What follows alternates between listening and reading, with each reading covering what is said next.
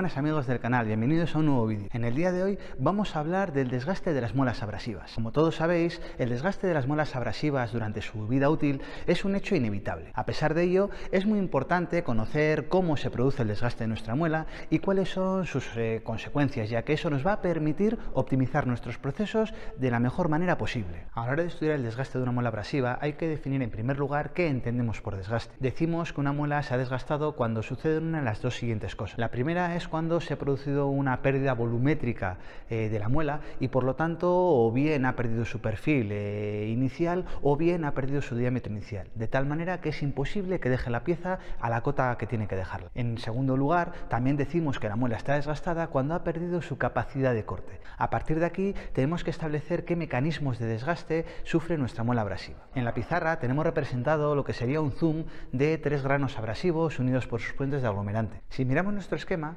vamos a decir que tenemos cuatro mecanismos de desgaste predominantes. El primero de ellos es cuando se produce una rotura de los puentes de aglomerante entre granos, de esta manera, y el grano queda desprendido de la muela. Una segunda opción es que el propio grano sufra una fractura y por lo tanto, bueno, pues pierde el filo de corte que inicialmente tenía.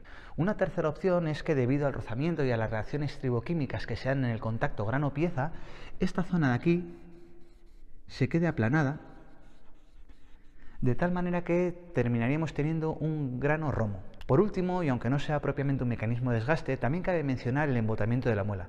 Es decir, que parte del material que estamos rectificando se quede en estas zonas intergranulares, haciendo que la muela pierda la capacidad de evacuar la viruta que se va generando durante el proceso. Una vez definidos los mecanismos de desgaste, es muy importante saber cuál es la consecuencia que tiene cada uno de ellos. El desprendimiento del grano o la rotura del mismo, en general, van a provocar una pérdida en las dimensiones de la muela, de tal manera que esa pérdida de dimensiones se va a trasladar a la pieza, haciendo que ésta no entre dentro de las tolerancias requeridas. Un desgaste de cara plana o wear flat eh, o un embotamiento van a producir un peligro del quemado ya que bueno, pues la muela va a perder capacidad abrasiva, va a aumentar el rozamiento y la deformación plástica previa a la cizalladura y las temperaturas van a tender a ser más altas. Como ya hemos dicho, el desgaste es un fenómeno inevitable, pero si identificamos cuáles son los mecanismos de desgaste presentes en nuestro proceso, podremos mejorarlo. Para ello va a ser fundamental conocer cuál es nuestra muela, de tal manera que sepamos que si variamos